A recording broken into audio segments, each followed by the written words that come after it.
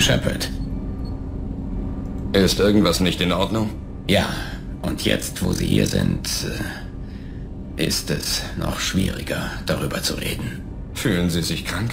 Ich kann den Arzt holen. Nein, nein. Obwohl es vermutlich auch damit zusammenhängt. Meine Sterblichkeit lässt mich über vieles intensiv nachdenken.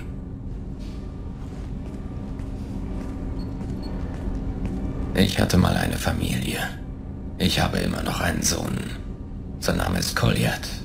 Ich habe ihn sehr lange nicht gesehen. Wann hatten Sie zum letzten Mal Kontakt? Vor zehn Jahren. Er hat mir gezeigt, was er in der Schule so macht und gefragt, ob wir wie die Bekloppten miteinander tanzen. Das haben wir oft gemacht, als er noch jünger war. Was ist das für ein Tanz? Es ist...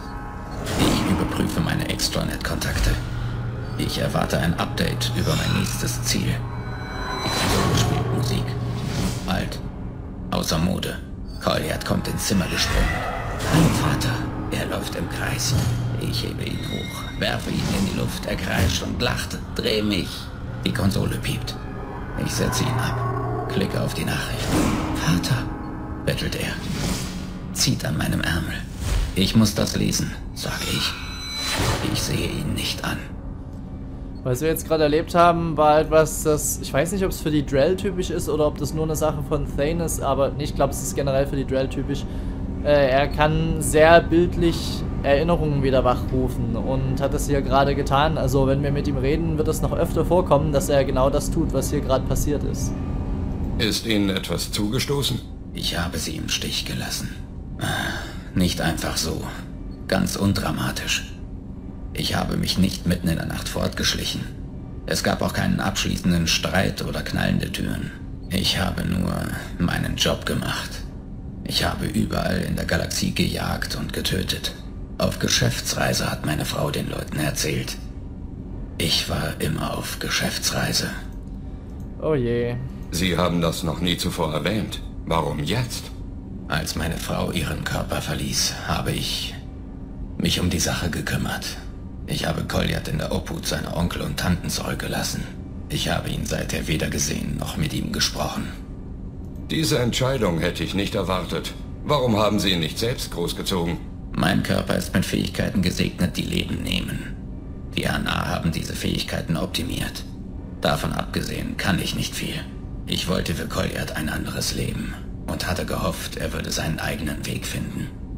Wenn er mich dafür hasste, in Ordnung. Solange er nur nicht auf den Pfad der Sünde geriet. Ich habe meine Kontakte benutzt, um Kolyat aufzuspüren. Er wurde losgelöst. Er tut, was sein Körper will. Das werden Sie mir erklären müssen. Losgelöst. Der Körper ist nicht unser wahres Ich. Das ist die Seele. Körper und Seele bilden in einer vollständigen Person eine Einheit. Wenn die Seele durch Verzweiflung oder Angst geschwächt ist, oder wenn der Körper krank oder verletzt ist, dann ist das Individuum losgelöst. Nicht mehr vollständig. Was stimmt nicht mit ihm? Ist er verletzt? Es ist etwas geschehen, das nicht hätte passieren dürfen. Er weiß, wo ich gewesen bin, was ich getan habe. Ich kenne seine Gründe nicht, aber er ist zur Citadel gereist. Er hat einen Job als Auftragsmörder angenommen. Ich möchte ihn mit ihrer Hilfe aufhalten. Er ist... Das ist kein Weg, den er beschreiten sollte. Man heuert für einen Auftragsmord keinen blutigen Anfänger an. Ich fürchte, jemand ist wegen des Namens aufmerksam geworden. Und denkt nun, wir hätten auch die gleichen Fähigkeiten. Ich weiß nicht, warum er den Auftrag annehmen sollte. Vielleicht um ihnen näher zu sein. Dieser Gedanke macht mir mehr zu schaffen als alle anderen. Vielleicht hat er auf Sie verwiesen, um den Job zu kriegen. Möglich wär's, aber ich glaube es nicht. Etwas stimmt daran nicht. Mein Name... Er sollte ihn nicht respektieren. Thane, ich habe weder Ihre Kontakte noch Ihre Fähigkeiten beim Verfolgen von Spuren. Wozu brauchen Sie meine Hilfe? Ich brauche Ihre Hilfe nicht. Ich hätte sie nur gern. Als ich meinen Sohn das letzte Mal gesehen habe, sie haben ihre Leiche in Meeresranken eingewickelt und mit Steinen beschwert. Er will sich von mir losreißen. Ruft nach ihr. Die Erna lassen sie von der Plattform schweben. Sie singen wie ein Glockenspiel. Das Feuer ist erloschen, um neu entfacht zu werden. Er fleht sie an, sie nicht mitzunehmen. Sie lassen ihre Leiche ins Wasser gleiten. Er schlägt mich. Lass das nicht zu. Halte sie auf. Warum warst du nicht? Es regnet. Auf KJ regnet es immer. Warmes Wasser läuft sein Gesicht hinab. Verdammt traurig, die Beerdigung seiner Mutter, beziehungsweise natürlich von Thanes Frau.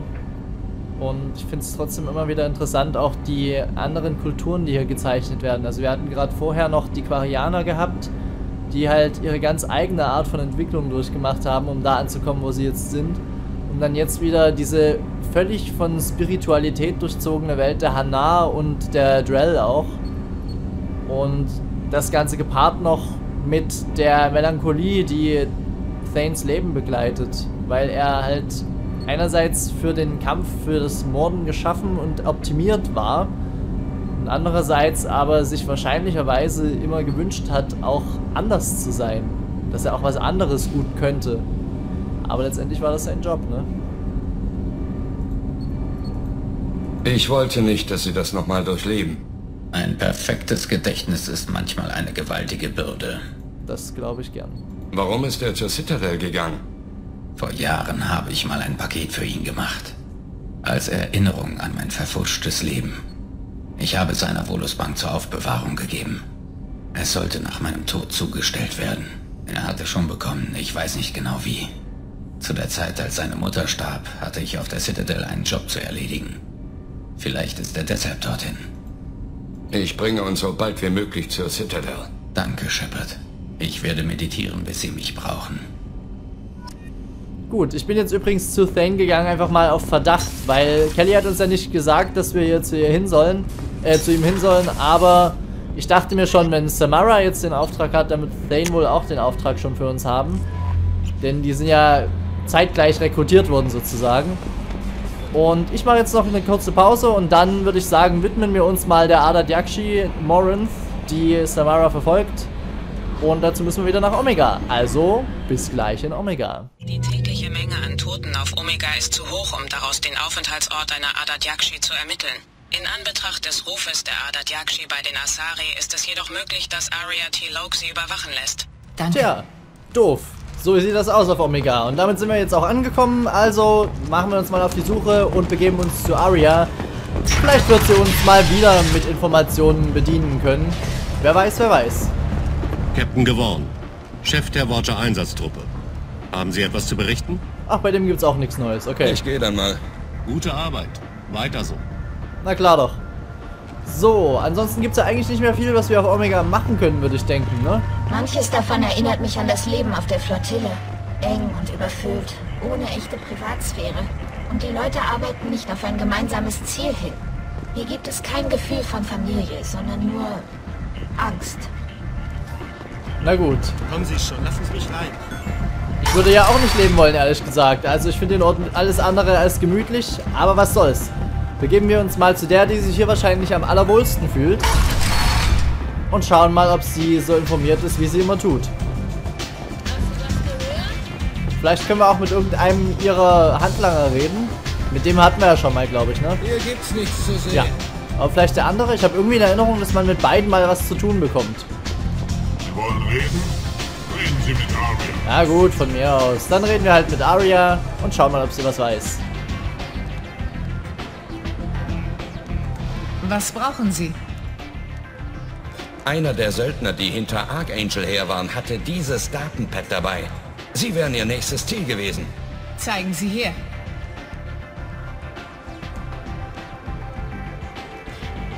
Interessant. Würde mir wohl jemand erklären, wie uns diese Information durchs Netz rutschen konnte? Ich, ich gehe der Sache nach. Sie haben viel für mich getan, Shepard. Ich möchte Ihnen auch einen Gefallen tun. Wir schicken Ihnen die Koordinaten eines Lagers auf einer nicht erfassten Welt. Wenn Sie wollen, gehört es Ihnen.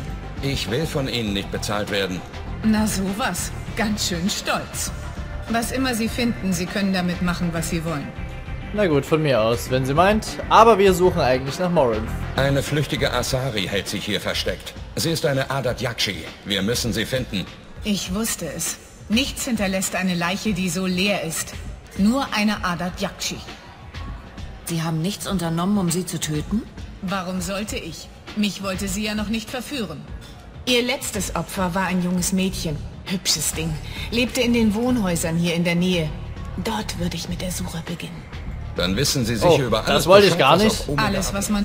Entschuldigung. Sie, aber verschwenden Sie Ich dachte, das Zeit. wären jetzt Untersuchungen zur Dingens, zu der, äh, zur Dingens hier, äh, zur Tochter, Mensch, von Samara. Adadakshi heißen sie. Eine Schau Flüchtung. doch mal kurz rein. Ihr letztes Opfer war ein junges Nee, Mädchen. kommt auch nichts anderes Hübsches mehr. Ding. Lebte in den Wohnhäusern hier in der Nähe. Dort würde ich mit der Suche beginnen. Okay, Danke für die Hilfe. dann machen Viel wir Glück das. bei der Suche und noch mehr Glück beim Einfangen. Oh, toll. Gut, machen wir uns mal auf den Weg zum Apartment gehen. Zurücktreten. Ja, ja, später. Okay, da unten müsste jetzt auch wieder zu sein, ne? Im Rekrutierungsraum. Ja. Okay, dann haben wir noch zwei Vorbildpunkte abgeräumt. Wusste ich gar nicht, dass wir ein Datenpad hatten, das für Aria interessant ist. Ist ja auch schon wieder so lange her, dass es gar nicht mehr wahr ist. Ich weiß, welches Datenpad das war, aber ich wusste nicht, dass Aria sich dafür interessieren könnte.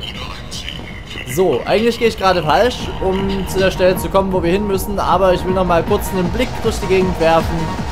Mit dem Barmann gibt es eigentlich nichts, was wir mehr besprechen müssen. Die Tänzerin ist auch uninteressant. Den Patriarchen können wir eigentlich auch lassen unten, aber wir gehen trotzdem mal hier lang.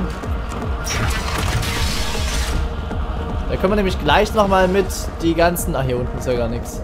Da können wir nämlich gleich nochmal mit die ganzen äh, Stände abklappern, die ganzen Shops, um zu schauen, ob wir nicht noch irgendwo unser Geld verprassen können ein wenig. So, schnell aus der Wurchak-Grube raus. Schauen wir erstmal... Na, pack dich doch nicht so fest. Schauen wir erstmal hier. Ken ist ja mittlerweile weg, aber zumindest die Munition äh, können wir ja noch mitnehmen.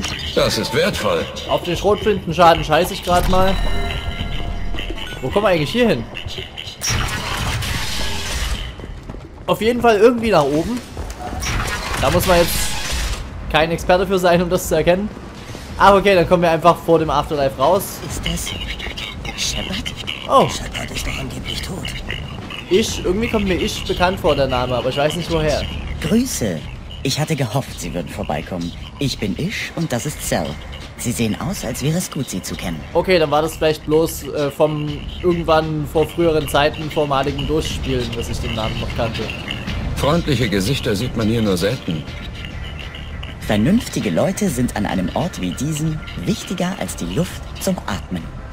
Wie ich sehe, wollen Sie mir schmeicheln. Lassen Sie es. Na, äh, natürlich. Verzeihung. Sie haben mich nur nervös gemacht, sonst nichts. Brauchen Sie was? Nun, wenn Sie so freundlich wären, könnten Sie über einen Vorschlag nachdenken, den ich Ihnen unterbreiten möchte. Ich brauche fähige, vertrauenswürdige Leute, die für mich ein kleines Geschäft erledigen. Natürlich nichts Illegales und gut bezahlt. Was für Geschäfte machen Sie denn? Wichtige Geschäfte. So wichtig, dass wir mit Ihrer Hilfe ganz Omega verändern könnten. Was bedeutet ganz Omega verändern? Nun, ich wollte ja nichts sagen, aber manche Leute hier machen Geschäfte mit anderen Leuten in der ganzen Galaxie. Wenn ich Informationen über diese Geschäfte hätte, könnten wir einigen Staub aufwirbeln. Mehr sage ich nicht. Ich höre zu. Ich bin im Informationsgeschäft. Spezialgebiet An- und Verkauf von geheimem Material. Es ist nicht illegal. Ich brauche nur jemanden, der Päckchen an bestimmten Orten abholt und hierher zu mir bringt. Wo ist der Haken? Kein Haken. Ich bin nur ein Geschäftsmann. Was meinen Sie damit? Das mache ich. Meine Kontakte benutzen spezielle Zielpunkte. Sie müssen außerhalb von Marabs Geschäft auf der Citadel nachsehen und im Inneren der Eternity Bar auf Ilium. Suchen Sie nach allem, was ein Datenpaket enthalten könnte und bringen Sie es dann zu mir. Viel Glück, Freunde. Na, schauen wir mal, was das für seltsame Pakete sind. Ich bin mir da nicht so sicher, ob das wirklich mit rechten Dingen dazu geht. Aber zumindest anschauen können wir uns das Ganze ja. Wir müssen sowieso nochmal an beide Orte zurückkehren. Bereit! Das Ende ist nah! Später mal. Ich kann später immer noch bereuen. So, wir schauen mal kurz bei Harold vorbei. Vorsichtig aufgeregt. Willkommen, Mensch. Was kann ich für Sie tun? Ich wollte nur mal schauen, ob er noch was zu Kens Verschwinden zu sagen hat. Ich habe einiges zu erledigen. Höflich. Einen schönen Tag noch. Schauen Sie bei meinem Kiosk vorbei, wenn Sie etwas kaufen möchten. Okay, hier gibt's aber eigentlich nichts richtig Wichtiges, muss ich sagen. Nee. Nö. Brauche ich alles nicht unbedingt. Okay, haben wir noch... Die drüben ist noch Omega-Markt. Schauen wir hier mal noch rein. Handschuhe mit Waffenschaden plus 5. Nahkampfschaden plus 25. Ja, weil wir so viel mit Nahkampf angreifen hier in dem Teil.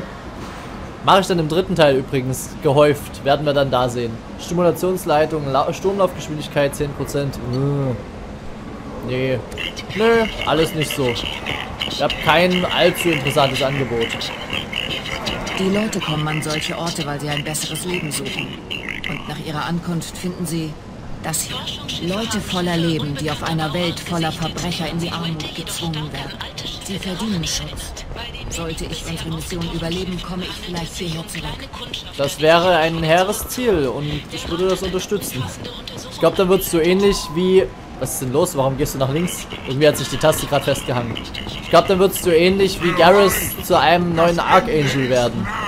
So, wir müssen aber in diese Tür hier. Da drüben war ja die Quarantänezone. Die Quarantänezone, da ist jetzt zu. Aber dafür ist jetzt hier offen. Denn das hier ist der... Ja, der Mod-Schauplatz. Sind Sie wegen meiner Tochter hier? Meine Neff ist vor einer Woche gestorben. Und niemanden scheint es zu interessieren. Die Mediziner reden von einer Gehirnblutung, aber das ist nicht wahr. Es war Mord. Jemand hat meinen Neff ermordet, meinen Schatz. Ich glaube auch, dass sie ermordet wurde und ich suche ihren Mörder. Danke. Es ist so schwer, wenn einem niemand glaubt. Ich bin jetzt ganz allein. Gehören Sie zu Arias Leuten? Ich bin hier, um zu helfen. Ist es wichtig, wer mich geschickt hat? Niemanden auf dieser Höllenstation kümmert es, dass meine Neff tot ist. Wenn Sie etwas unternehmen können, werde ich behilflich sein, so gut ich kann. Hatte Ihre Tochter viele Freunde? Nein, viele nicht. Sie war verschlossen. Die meiste Zeit hat sie ihre Skulpturen angefertigt und war nicht mit Freunden unterwegs. Aber etwas hat sich in den letzten Wochen verändert. Sie hat angefangen, von einer Asari zu erzählen. Morinth.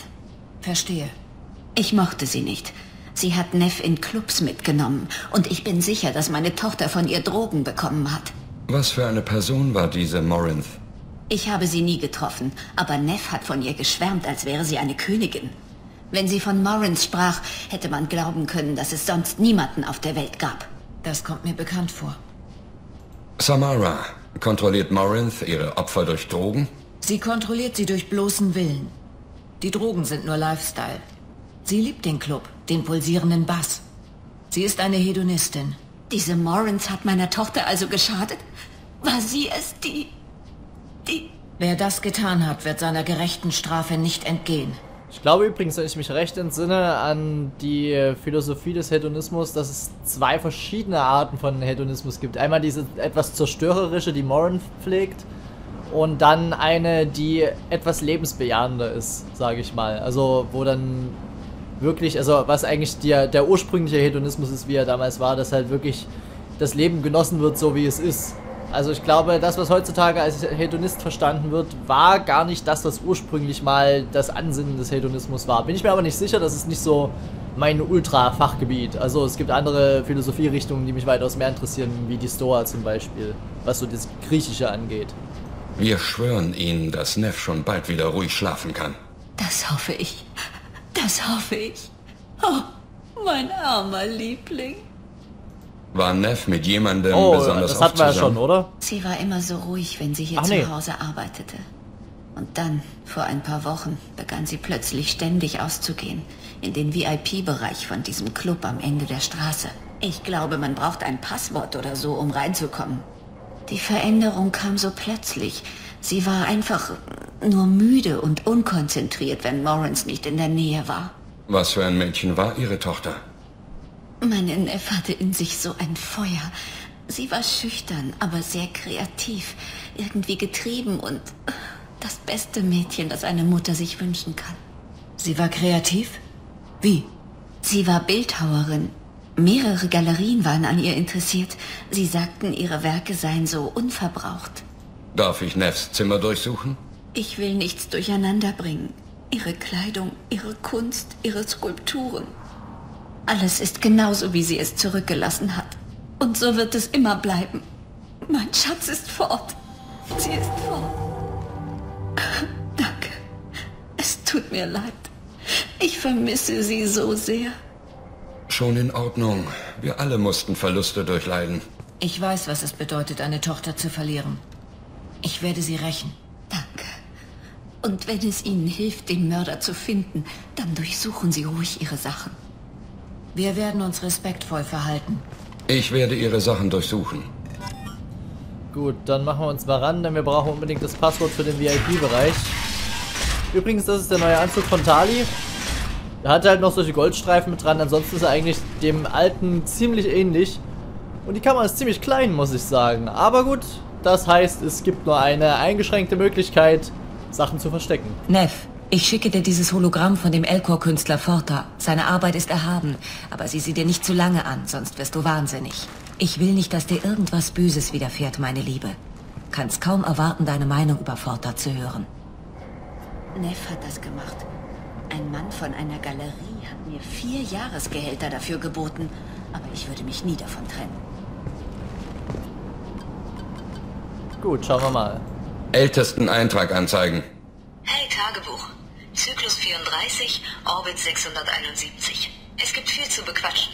Ich habe ihr Roots Namen gesagt und sie haben mich in den VIP-Bereich des Afterlife reingelassen. Alle haben mich angestarrt, ganz sicher. Plötzlich fängt neben mir eine total schöne Asari an zu tanzen. Sie bewegte sich wie Wasser. Immer in Bewegung, ständige Veränderung. Aber doch klare Formen und fester Körper. Ich bin in Trance. Dann habe ich mit ihr getanzt. Später haben wir was gegessen und ich werde sie morgen wiedersehen. Mittleren Eintrag anzeigen. Zyklus 36, Orbit 671. Bin ich ein Freak? Morans ist ein Mädchen wie ich. Und sie ist ganz klar kein Mensch. Aber wenn wir tanzen und das Herrlichs durch meinen Körper fließt, wie sie mich dann ansieht, mit dieser Gier, dieser Sehnsucht, so hat mich noch nie jemand angesehen. Heute Abend haben wir uns geküsst. Letzten Eintrag anzeigen. Zyklus 42, Orbit 67. Heute Abend nimmt sie mich in ihr Apartment mit. Was auch geschieht, ich will für immer bei ihr bleiben. Sie kann meine Werke verkaufen. Wir könnten an einem noblen Ort leben, wie die Frauen in Vaenia. Dem Video, das Morans so gefällt. Wie konnte ich so viel Glück haben? Ich bin doch nur ein dummes Mädchen von Omega. Tja, und das war ihr Ende. Holo-Tagebuch schließen. Das ist das Werk von Morinth. Künstler und kreative Leute ziehen sie an. Wesen mit diesem bestimmten Funken in sich, zudem meist leicht isoliert. Sie beeindruckt sie durch Intelligenz und Sexappeal. Die Jagd ist für sie ebenso interessant wie das Schlagen der Beute. Jeder, der 400 Jahre lang intelligente Lebewesen gejagt hat, ist mit Vorsicht zu genießen. Morins kommuniziert auf vielen Ebenen. Ihr Körper teilt dem ihren mit, dass unvorstellbare Ekstase auf ihn wartet. Ihr Duft weckt lange versteckte Gefühle. Ihre Augen versprechen Dinge, die sie noch nie von jemandem zu erbitten wagten. Ihre Stimme flüstert noch, wenn sie schon längst nichts mehr sagt. Das klingt eher nach einer hochentwickelten Killerin als nach einem Wesen mit Gendefekt. Den Zustand gibt es schon, seit mein Volk sich nachts am Feuer versammelte. Vielleicht ist es eher eine Art Symbiose als ein Defekt. Ihren Unterschlupf zu stürmen wäre keine gute Idee. Sie hat bestimmt 100 Fluchtpläne. Sie wird landen und dann für 50 oder mehr Jahre verschwinden. So nah war ich noch nie an ihr dran. Dann müssen wir sie also rauslocken. Genau. Shepard, Sie lesen meine Gedanken. Der VIP-Bereich des Afterlife scheint Ihr bevorzugtes Jagdgebiet zu sein. Sie müssen dort alleine und unbewaffnet hingehen. Sie wird auf mich zukommen. Sie können Morins rauslocken. Wenn sie mich sieht, wird sie mit Sicherheit fliehen. Aber Ihnen kann sie nicht widerstehen. Sie sind auf dem Schlachtfeld ein Künstler.